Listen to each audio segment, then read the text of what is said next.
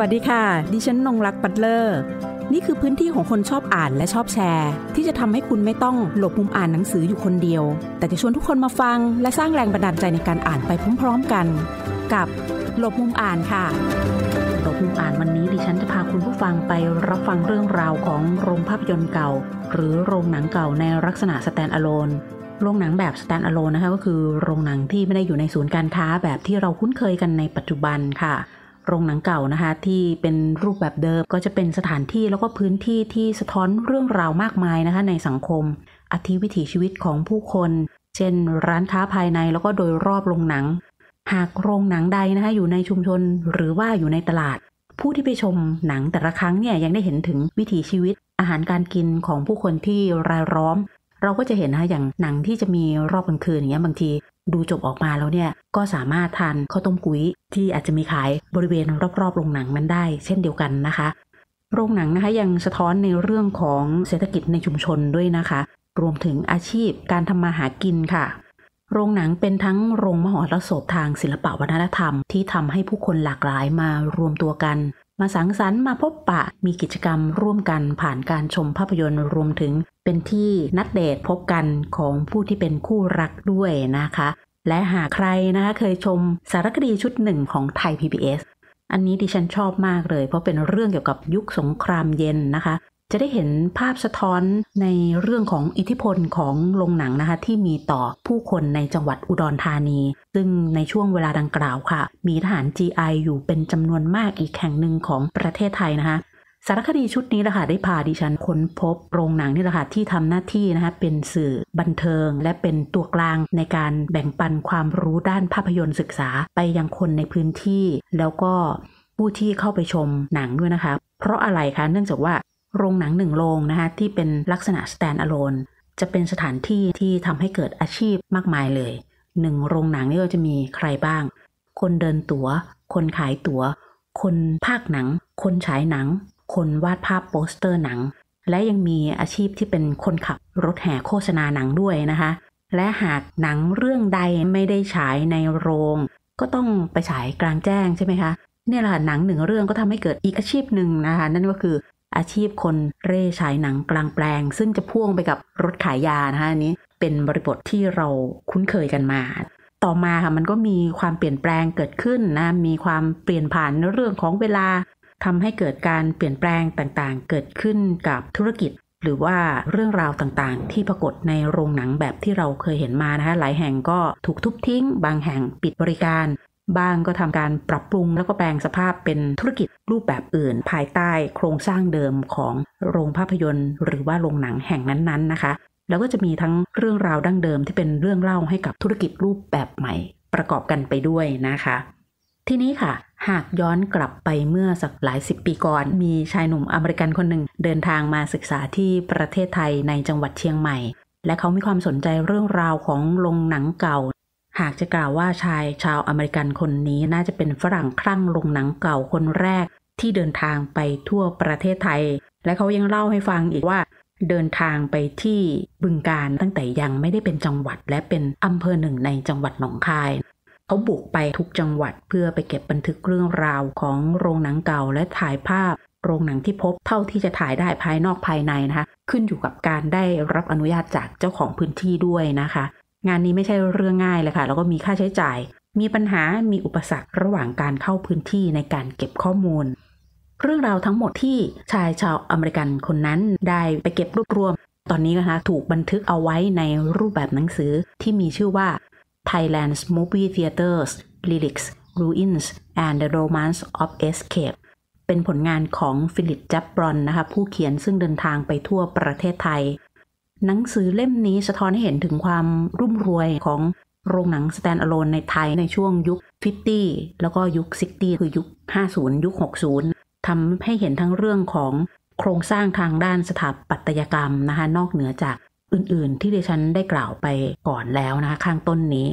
วันนี้นะคะดิฉันจะคุยกับคุณฟิลิปจับบรอนถึงแรงบันดาลใจที่นำไปสู่การเป็นนักเก็บบันทึกเรื่องราวโรงหนังเก่า ว่าเขามีอุปสรรคปัญหาอะไรบ้างนะคะ ภาพสะท้อนโรงหนัง stand alone ในอเมริกาและก็ของไทย แล้วก็เรื่องราวของหนังในรูปแบบที่เราเรียกกันว่าโฆษณาชวนเชื่อที่มาในช่วงสงครามเย็น และประสบการณ์อื่นๆของเขาค่ะ ระหว่างที่เก็บข้อมูลภาคสนาม จนมาเป็นหนังสือเล่มนี้ค่ะเป็นมาอย่างไรถึงมีแรงบันดาลใจที่มาสนใจเกี่ยวกับเรื่องโรงหนังเก่า แล้วก็ เลือกของไทยก่อน จริง ๆ แล้วเลือกประเด็นนี้เป็นบางเอิญนะครับ ตอนแรกมาเป็นนักศึกษาปริญญาโทที่มหาวิทยาลัยเชียงใหม่ แล้วก็เริ่มเลือกประเด็นเพื่อทำวิทยานิพนธ์ผมก็เลือกเป็นจะทำวิจัยเกี่ยวกับผู้ลี้ภัยจากพม่าก่อน ตอนแรกหัวข้อตอนแรกตอนแรกใช่ แล้วเริ่มทำวิจัยลงพื้นที่แล้ว สัมภาษณ์คนในชุมชนผู้ลี้ภัยอะไรสักอย่าง เก็บข้อมูล แล้วทำ literature review ทำวิจัยประมาณ 3-4 เดือนแล้วก็คิดว่า อันนี้มันทำให้รู้สึกไม่ไม่พอใจนะครับ ผมก็เห็นว่าหลายหลายคนก็ทำวิจัยเกี่ยวกับนี้แล้ว แล้วคิดว่าเฟลจะทำวิจัยเป็นซ้ำๆเลย มันทำให้เสียอารมณ์อืมเสียอารมณ์เพื่อทำวิจัยแบบนี้ แล้วคิดว่า อืมต้องทำอะไรต่อ เพราะว่าเปลี่ยนเอ่อเปลี่ยนหัวข้อวิทยานิพนธ์เปลี่ยนหัวข้อหลายครั้งแล้วอืมอันนั้นเป็นครั้งที่สามนะ จริง ๆ แล้วเป็นครั้งที่สามเราคิดว่า โอ้ยที่สี่ก็ไม่มีแรงเลยอ่าหมดแรง แล้วเริ่มทำโปรเจกต์นี้ทำไปตระเวนหาโรงภาพยนตร์เก่า แล้วตอนแรกมันเป็นงานอดิเรกว่าจะทำเพื่อสนุกอืมแล้วเพื่อเก็บภาพ บันทึกลงนังไว้แค่นั้น ใช่ มันเริ่มต้นแบบนั้นนะจริงๆแล้วตอนแรกคิดว่ามันไม่ใช่เป็นหัวข้อของวิทยนิพนธ์คิดว่ามันจะเป็นงานอาทิแรกเฉยๆ แต่ที่ปรึกษาทีมช เขาเห็นว่าโอ้ฟิลสนใจประเด็นนี้มากนะ แล้วมันมีคุณค่า แล้วคนอื่นเขาส่งเสริมให้ฟิลน่าจะทำต่อ น่าจะทำต่อ อันนี้มันน่าสนใจไปเที่ยวเรื่อยๆ แล้ว ที่ปรึกษาเขาบอกว่าฟิลถ้าอยากเปลี่ยนหัวข้ออีกรอบหนึ่งก็เป็นโรงภาพยนตร์เก่าในเมืองไทยก็ทำได้ แล้วปุ๊บทำเลย ด้วยความที่มันเป็นงานอดิเรกอะฟิวเห็นว่าโรงหนังเก่าเนี่ยมันมีเสน่ห์ยังไงในด้านไหนบ้าง จริงๆแล้วนึกถึงโรงหนังเก่าในบ้านผมฟิลาเดลเฟียที่สหรัฐ ก็ตอนเด็กๆมีโรงหนัง stand alone เยอะแยะที่เมืองฟิลาเดลเฟีย แต่ถึงถึงเป็นผู้ใหญ่ไม่มีอะไรเหลือแล้วฟิลคิดว่าเมืองเรามันมันเสียเสน่ห์เลย เพราะว่าไม่มีโรงหนัง มีผับมีร้านอาหาร มีโรงละครอะไรสักอย่างแต่ไม่มีโรงหนัง แล้วมันเสียเสน่ห์เลยก็คิดว่ามันเป็นเสน่ห์อย่างหนึ่งแล้วก็มันเป็นสิ่งที่มันไม่ได้เติบโตไปข้างหน้าเหมือนอย่างพวกร้านอาหารพวกพัตตาคาร หรือสถานบันเทิงอื่นๆซึ่งอืมแล้วมันก็ถูกกลืนหายไปอืมในห่วงเวลาอะไรอย่างเงี้ยเราก็เลยรู้สึกว่าเราเห็นบทเรียนจากที่บ้านเราที่ฟิลาเดลเฟียมาแล้วว่าเออพื้นที่ตรงเนี้ยมันสูญหายไปเราก็เลยคิดว่าเออมาเก็บของไทยเป็นการทดทดแทน ใช่ใช่ว่าตอนแรกก็เจอโรงหนังเก่าที่เมืองเชียงใหม่เลยคิดว่าโอ้ยไม่รู้ว่าเมืองเชียงใหม่ก็มีโรงหนังเก่าแบบนี้อืมคิดว่ามันอยู่มีแต่โรงหนังในห้างสรรพสินค้าอืมแล้วเจอโรงหนังนี้ คิดว่าโอ้น่าจะถ่ายรูปนะคะมันอันนี้น่าถ่าย แล้วนึกต่อว่าโอ้อยากไปดูหนังที่นี่ บรรยากาศเป็นยังไงบ้าง มันเป็นโรงมหรสพที่ไม่ค่อยมีคนในชนชั้นของฟิลสนใจเลย ไม่มีใครพูดถึง ไม่มีใครบอกว่าอ๋อเราก็มีโรงหนังแบบนี้ในเมืองเชียงใหม่แล้วฟิลคิดว่า โอ้น่าจะไปสืบสวนเป็นยังไงบ้าง แต่ฟิลรอประมาณ5-6เดือนเพื่อกลับมาไปดูหนังแล้วไม่ทันเลย มันถูกทุบทิ้งเลย ไม่มีอะไรเรื่องอันนั้นเป็นจุดแรกที่เสือคิดว่า โอเค ผมจะตั้งใจว่าจะไปหาโรงหนังเก่าทั่วประเทศไทยเพราะว่าถ้าอันนี้เป็นสถานการณ์ของโรงหนังในเชียงใหม่ สถานการณ์โรงหนังเก่าในเมืองอื่นๆ ของประเทศไทยเป็นยังไงบ้าง มีโรงไหนบ้างที่ได้มีโอกาส เข้าไปดูเขาฉายจริงอืมๆซึ่งโรงมันยังโอเปเรตหมายถึงว่าโรงมันยังดำเนินการอยู่ยังใช้อยู่ใช่ไหมใช่ มีโรงหนังไหนบ้างที่มีโอกาสได้เข้าไปไหมแบบมีเยอะแยะด้วย มีเยอะโชคแยะดีโชคดีที่มีโอกาสไปดูหนังในโรงแบบนั้น โอ้ยเริ่มจากนายโรงแรกที่ฟิลหาเจอที่ยังใช้อยู่ นอกจากกรุงเทพกรุงเทพมีหลายแห่งนะช่วงนั้นอืมมีสกาล่าลีโดสยามอันนั้นเป็นโรงหนังชั้นชั้นหนึ่งดีชั้นดีเลย แหละแล้วก็มีโรงหนังชั้นสามด้วยใช่แล้วชั้นสองด้วย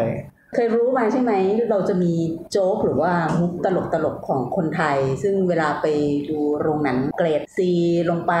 อ่าจะต้องมีคำพูดแบบโอ้ยหนูวิ่งผ่านแล้วต้องตกใจกลัวหรือแม้กลิ่นอ่าอ่าที่มันจะปรากฏในโรงภาพยนตร์แบบนั้นด้วยเนี่ยอันนี้พอทราบมาใช่ไหมอืม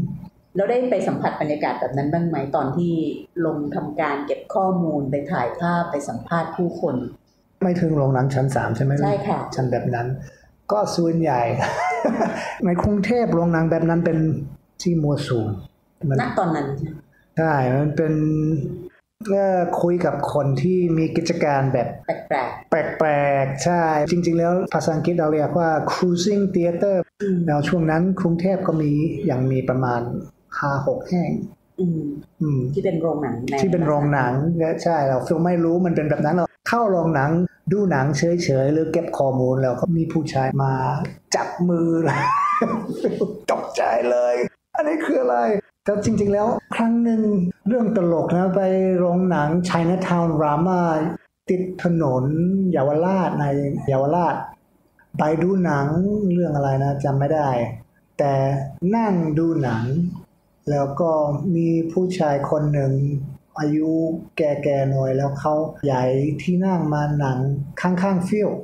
แล้วเขาเอาลูบขาฟิลใช่ไหมจับขาจับจับขาเลยเขาจับขาฟิลแล้วเขาบอกว่าอ๋อสนใจไหมครับ สนใจเออผมไม่สนใจนะครับ ผมทำวิจัยอย่างเดียวนะครับ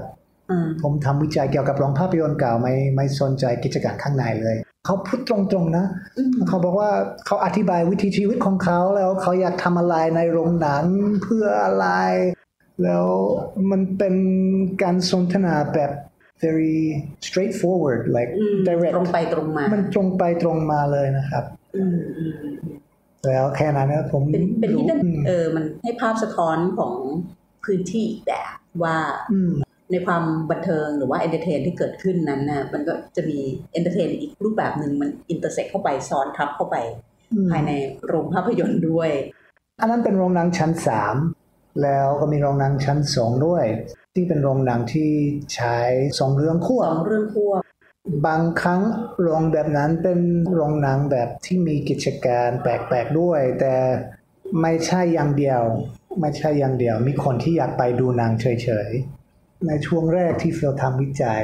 กรุงเทพนี้มีประมาณอืมน่าจะประมาณห้าหกโรงแบบนั้น โรงหนังชั้นสองด้วยอืมโรงหนังมงคลรามาโรงหนังทนบุรีรามางามวงวาน นนบุรีรามาที่อำเภอเมืองนนบุรีวอชิงตันปิดไปแล้วเอเชียรามาแถวแถวๆพระโขนงตอนที่ไปเก็บข้อมูลถ่ายภาพต่างๆ ปัญหาอะไรซึ่งฟิลคิดว่ามันมันเป็นปัญหาสำหรับเราในตอนนั้น อืมอุปสรรคเป็นเจ้าของโรงนะ ไม่รู้ทำไมแต่หลายที่เขาเป็นแบบเขาไม่ให้เข้า เขาก็มีอะไรที่ไม่อยากโชว์ให้ดู ไม่แน่ใจว่ามันเป็นสภาพของโรงหนังแล้วเขากลัวว่าถ้ามีอุบัติเหตุอะไรสักอย่างจะมีปัญหาหรือเปล่า หรือมีประเด็นอื่นไม่แน่ใจฟิลเองหาทางออกยังไง solution ของ you นะตอนนั้นที่จะต้องเ e โคช a เอตเขาต่อรองกับเขาบางครั้งก็จะนั่งคุยนานนานแล้วถ้าเขาไว้ใจ ไว้ใจก็เขาจะเปิดให้อืมใช่ใช่บางครั้งเขาก็ไม่สนใจเลยไม่อยากคุยด้วยอืมแล้วอีกอุปสรรคหนึ่งที่ฟิลโดนอืมกี่ครั้งนะ คือโรงหนังเก่าหลายที่มันอยู่ในโซนแบบร้างเลย แล้วถ้ามันอยู่ในในโซนแบบนั้น ก็อาจจะมีหมาจนจัด โดนฟัดบ้างหรือเปล่าโดนสัตว์มันไบต์อยู่ เออ ก็พยายามมากขึ้นใช่ก็น่ากลัวนะ เดินเข้าในซอยแล้ว อุ้ยโรงหนังกำลังจะ set up my tripod กำลังจะถ่ายรูปแล้วแก๊งและมา sound มันเอฟเฟกต์เป็นเสียงหมามากเลยระหว่างที่ฟิลกำลังพูดถึงในเรื่องของการไปเก็บข้อมูลแล้วโดนหมาเห่านะคะคุณผู้ฟัง มันน่ากลัวมาก มากันเป็นฝูงไงก็เป็นเจ้าถิ่นใช่ใช่ใช่ they are the host ใช่แล้วเขามาเห่าอะไรอีกนะ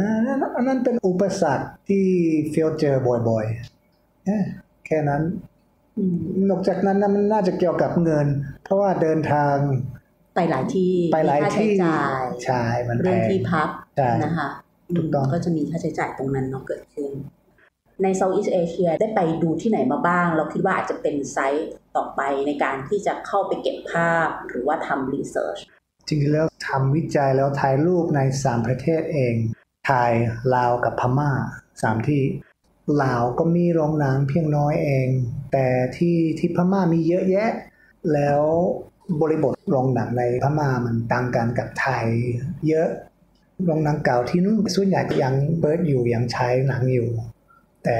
เขาก็มีปัญหาอื่นๆในช่วงนี้ค่ะก็เขาถูกรัฐประหารมาแล้ว ใช่ แต่ทำวิจัยเยอะที่พม่าแล้วถ่ายรูปเยอะอืมอืมสามประเทศเอง เรื่องของซอฟต์พาวเวอร์ของภาพยนตร์ฮอลลีวูดเนี่ยที่มันอ่าปรากฏในบริบทของสังคมไทยอย่างไรบ้าง จากที่คุณทำวิจัยเรื่องโรงหนังเก่าตรงนี้อืมเพราะคุณก็ต้องเข้าไปแล้วคงต้องเห็นว่า มันมีอิทธิพลมาก ๆ ต่อคนในพื้นที่ในจังหวัดต่างๆ หรือแม้แต่โดยเฉพาะอย่างยิ่งในกรุงเทพซึ่งมันเป็น hub ของทุกสิ่งทุกอย่าง อย่างในต่างจังหวัดเนี้ยค่ะ เข้าไปเห็นแล้วเห็นอิทธิพลของหนังจากอเมริกันฮอลลีวูดเนี่ยอย่างไรบ้างกับคนในพื้นที่ ในสมัยสงครามเย็นอ่าเป็นช่วง Cold War ก็ได้ค่ะเมื่อช่วง Cold War ก็ตัวแทนจากสตูดิโออเมริกาเขาส่งภาพยนตร์จากสหรัฐใช่ไหม แล้วส่วนใหญ่มันเป็นหนังที่แสดงเอ่อ so during the Cold War the representatives of the Motion Picture Association of America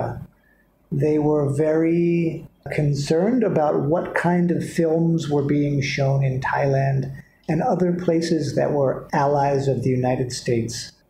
They wanted to show an image of America that was capitalistic, powerful, and representative of the free world. You would never show any movies that had kind of uh, maybe communist undertones. ภาพยนตร์มันเป็นส่วนหนึ่งของโฆษณาชวนเชื่ออใช่ไหม เพราะประกันดา propaganda ใช่ มันเป็น มันมีแนวแบบนั้นนะ แล้วก็ในช่วงนั้นในช่วง 1960s เมืองไทยมันถูกการพัฒนาประเทศ แล้วตลาดภาพยนตร์มันเพิ่มขึ้น ในชนบทที่ในสมัยก่อนมันถึงยาก มันไม่ค่อยมีถนน ถนนที่ก็เป็นถนน all weather แต่หลังจากถนนสร้างออกมา ก็เปิดโรงหนังได้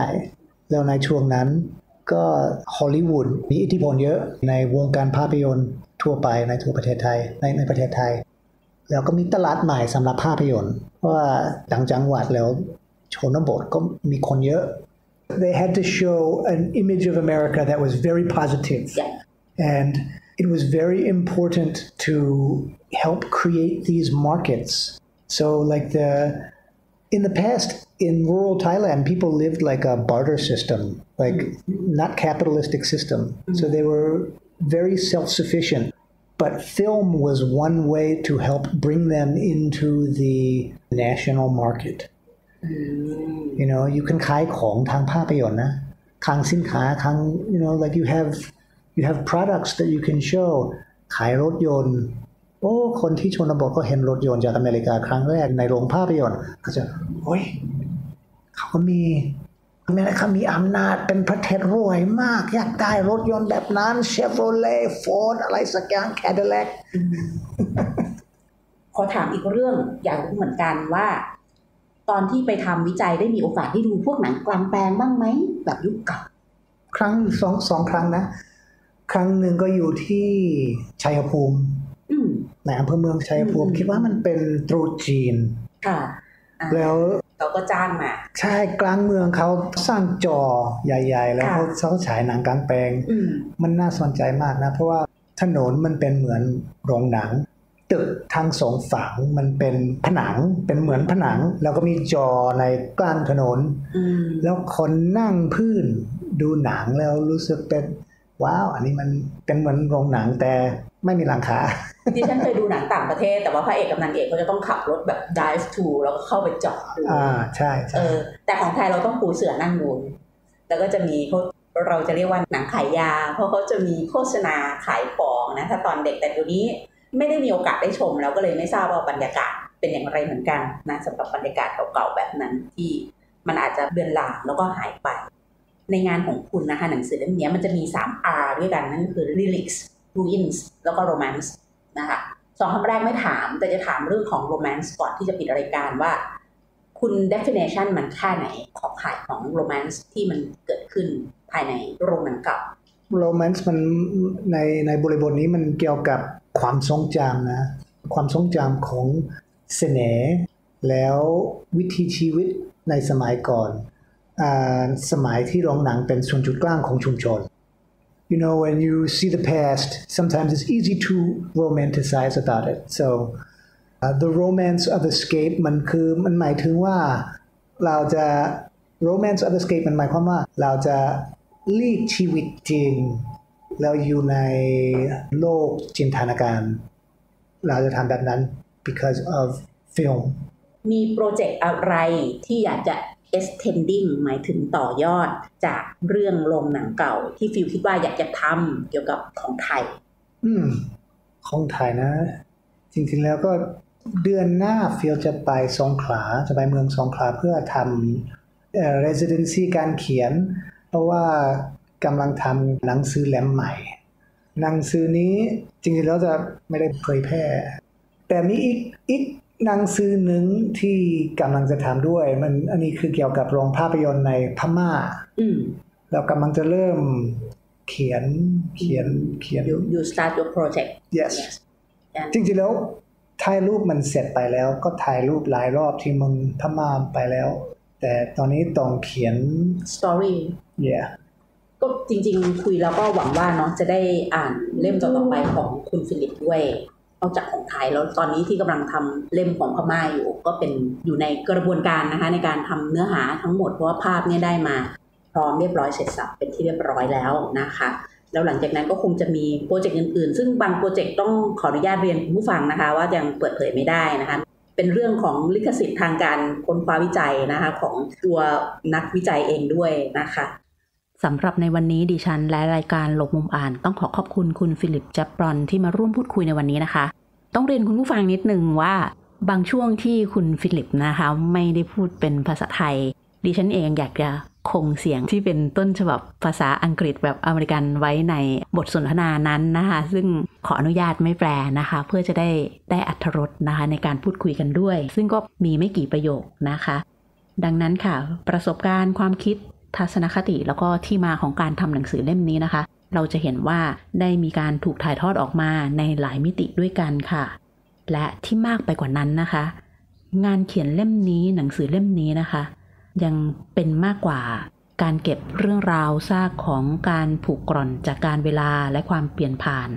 เป็นมากกว่าการทุบทำลายสูญสลาย แต่สิ่งที่ปรากฏอยู่ในนี้ก็คือ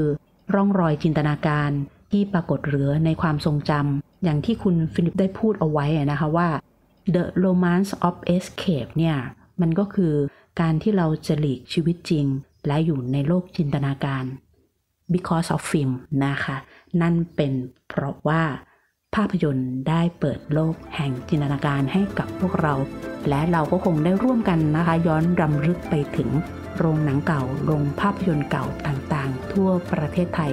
ที่ปรากฏอยู่ในหนังสือเล่มนี้ วันนี้ขอบคุณที่ติดตามรับฟังหลบมุมอ่าน สวัสดีค่ะ หากมีหนังสือดีๆ ที่อยากมาแชร์กัน มาบอกกับเราได้นะคะ แล้วกลับมาหลบมุมอ่านด้วยกันค่ะ